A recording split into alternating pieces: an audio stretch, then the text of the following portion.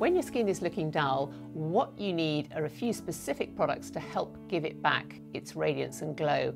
And this is a sort of mini version of the fuller radiance boosting bundle.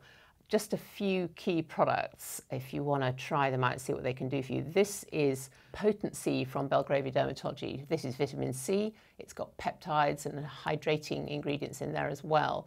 So this will give a really good brightening start to your regime. Use that after cleansing first thing in the morning.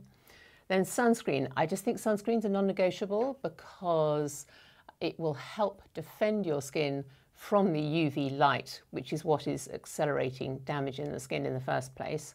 So that every day, if you don't mind. And then in the evening, a couple of times a week, this lovely product, which is liquid gold from Alpha H, is something you can use to wipe over your face after cleansing and then just leave it.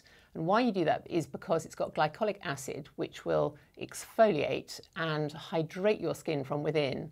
And it's quite powerful stuff, so you only need to do it a couple of times a week, but that will really accelerate your skin on its way back to radiance. And then I'm putting this in as a free gift, which is the Peel to Glow Skin Bloom. And Peel to Glow is home use peel, there's two tiny vials in here. You can look up the details elsewhere on the website, which you use to give yourself a home skin peel. It's not too savage. Anybody can tolerate this, but it will give a lovely freshening result.